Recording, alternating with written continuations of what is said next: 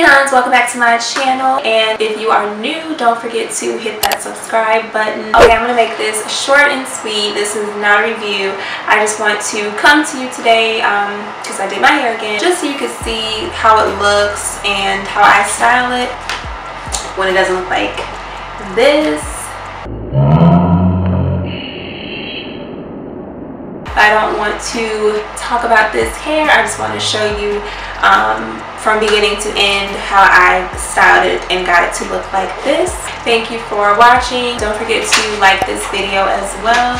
And I will see you in the next one. Bye. It's a little bright. I don't know. Now I'm nervous. It might be cute though. Hey, what's up you guys? So I already cut the lace off, well most of it. Um, I did leave a little bit just so I can control the cutting a lot better. Um, so I'm just starting from the ear and just cutting as close as possible as I can to the hairline because I do not want to leave any lace out at all. It just looks more realistic to me that way. You can do whatever you want to do, but I like to cut it all the way off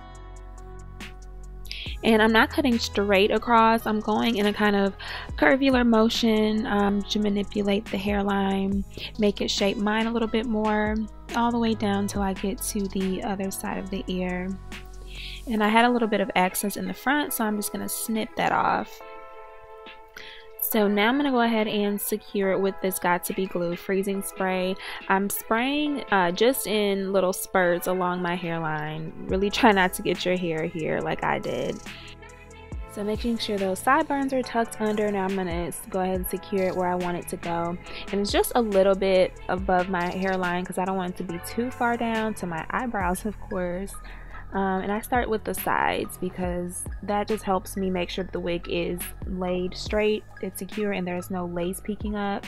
And I'm combing my edges out too because those are peeking out anyway, so I'm just going to use those for this style. And I'm just going back over with the Got2b just to make sure it does stay down and using my comb to firmly press down, make sure it's straight.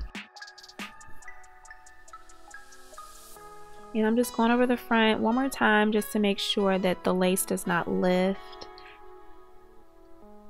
And this is really melting the lace here. Yes. So I'm going to pluck some hair out of the front um, just by taking little piece here and going underneath so that way it's not so much hair um, in the front of the hairline. I'm doing the same to the other side. I'm not going to doing too much because I really don't feel like it. Um, but I'm going to go ahead and do this down the middle. There's not really much of a part here. That's all it is. Um, but I'm going to work with it. I'm just going to tweeze some more hair out of the side so that way it mimics my hairline. And just brushing it out with the uh, paddle brush or wig brush here to comb out these curls. I really don't want all these curls to be honest with you. It's just a little much for me. And I'm not going to straighten it. I'm just going to run my flat iron through just a little to take out um, most of the curls. Just a little.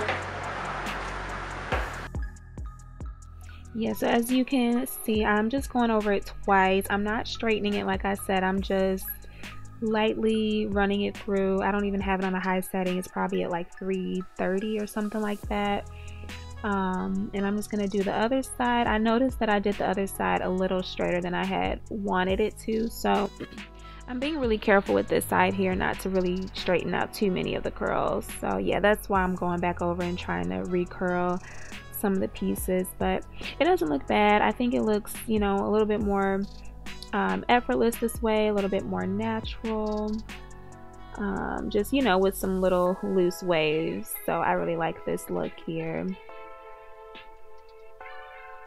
and now I'm gonna go on to the baby hair. So I'm just combing tiny, tiny strands out, or just, you know, tiny little sections. And now I'm taking some scissors and going up and down, cutting them, not cutting straight across.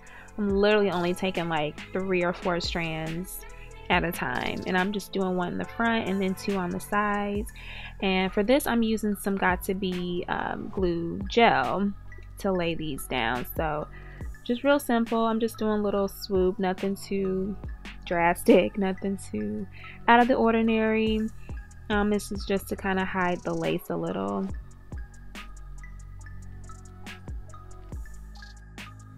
but yeah that's all I'm gonna do with the baby hairs here now I'm just gonna go ahead and style it um, in the middle part I'm just evening out the hair on both sides so not really doing a straight part but I do want to color in this part because it didn't really have any color to it so I'm using some foundation um, and then concealer as well to kind of lighten it up.